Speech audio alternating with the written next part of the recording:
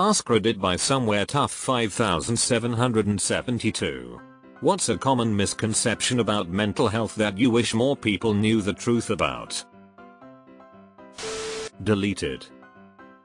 Not to mention the sheer anxiety many have over even attempting a new medication. That there are always signs. No a person can be functional, but may be on the brink of offing themselves every night. This. I had depression and CPTSD, a type of PTSD related to a pattern of events vs one a few traumatic episodes, since I was in middle school. Only one friend guessed about the depression and even my spouse never realized how bad it was until recently. I'm currently in my late 30s. I was extremely high functioning while all the time wondering why I bothered to stay alive. Not two people with the same diagnosis experience it in exactly the same way. You can't. Different experiences and different thoughts lead to different dopamine levels and such. I'm not an expert on what brain chemicals make one feel a certain way. Even a car, I know it has no feelings, will have different gas, oil, and transmission fluid levels than the next one.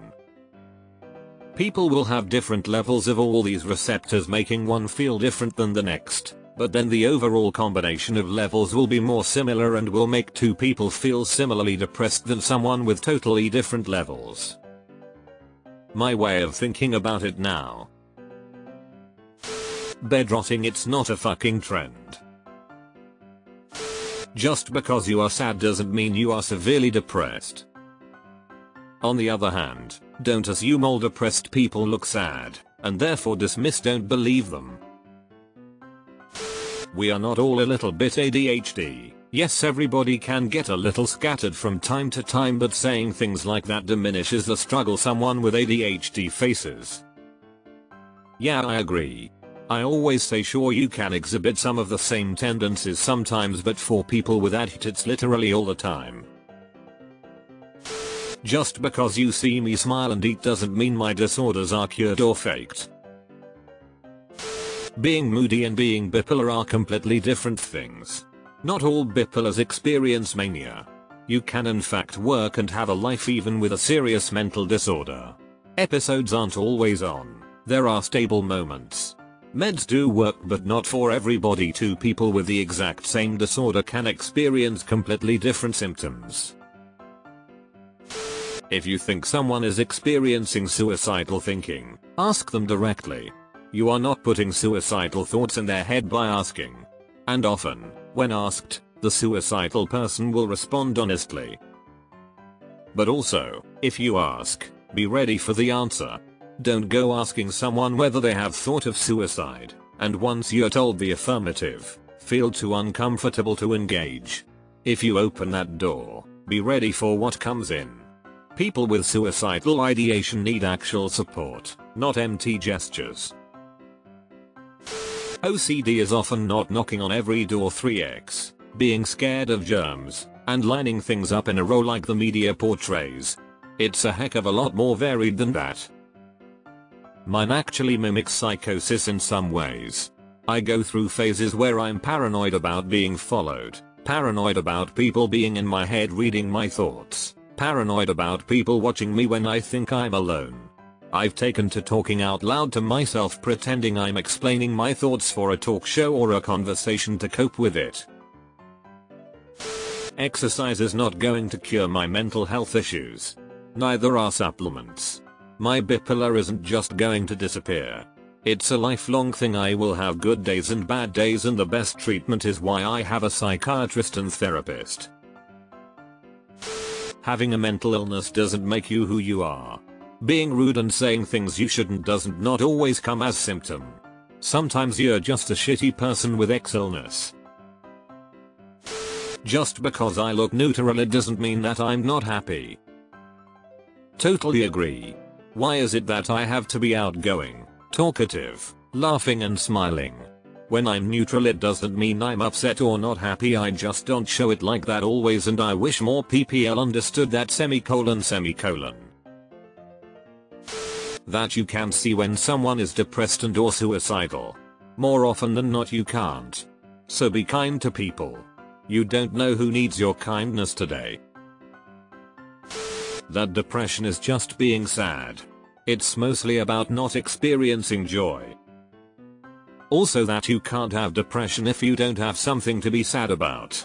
Actually you need to not have something to be sad about. If I had something to be sad about it wouldn't be an illness would it? It'd be a normal ass emotion.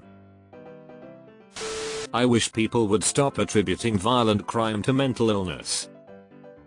They are obviously not unrelated, but it's too often automatically assumed that violent criminals are mentally ill when lots of them are just assholes.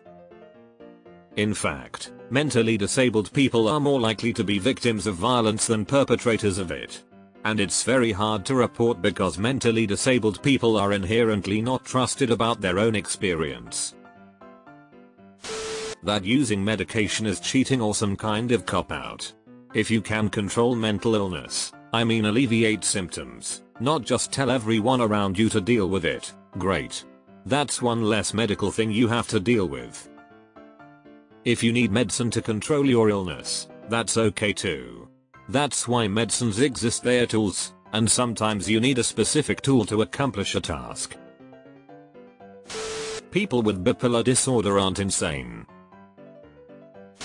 Emetophobia. It's not yeah nobody likes to throw up. And it is actually not even just the fear of throwing up but so much more and can have such a great impact on your life. Well said. Usually it's a chronic illness and it doesn't get better with specific food and exercise I mean sure, there are benefits to it to maintaining physical health, but it's BS to tell someone who can barely function to lift weights or whatever not only it isn't gonna help but it will likely make the person feel worse, given that it's another task they cannot finish. Might be good advice during good times, bit terrible during a crisis a crisis means the basics for survival. My take is, would you say this to a person with a migraine attack a heart condition changing Ives flare then don't say it to someone with depression.